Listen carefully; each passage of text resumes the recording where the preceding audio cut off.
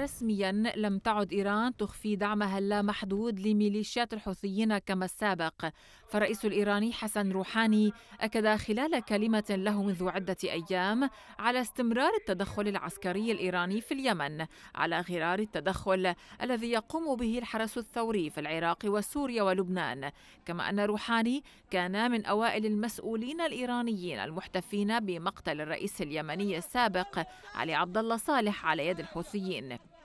بدأ الدعم الإيراني للحوثيين بشكل خفي عن طريق إرسال ضباط وخبراء إيرانيين وآخرين من ميليشيا حزب الله وغيرهم لتقديم ما تصفه طهران الدعم الاستشاري فضلا عن ضبط قوات التحالف العربي خلال ثلاث سنوات من عاصفة الحزم شحنات أسلحة ثقيلة وخفيفة ومتفجرات وقذائف وأنواع أخرى من الأسلحة. كما أن إيران استخدمت طيرانها المدني لتزويد الحوثيين بالصواريخ والأسلحة حتى ما قبل بداية عاصفة الحزم عام 2015 حيث أنه بعد انقلاب الحوثيين وسيطرتهم على العاصمة اليمنية صنعاء أبرموا اتفاقا مع خطوط مهن إير أقام الحرس الثوري الإيراني بموجبه جسرا جويا بين طهران وصنعاء.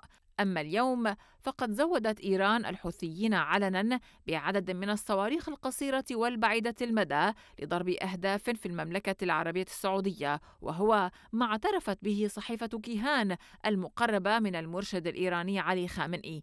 الدعم الإيراني للحوثيين في اليمن يندرج في إطار المشروع الجديد لتشكيل ما يسمى بالبدر الشيعي إلى جانب العمل على تنسيق ميليشيات الحرس الثوري الإيراني وميليشيا الحوثيين في اليمن وحزب الله في لبنان وميليشيا الحشد في العراق.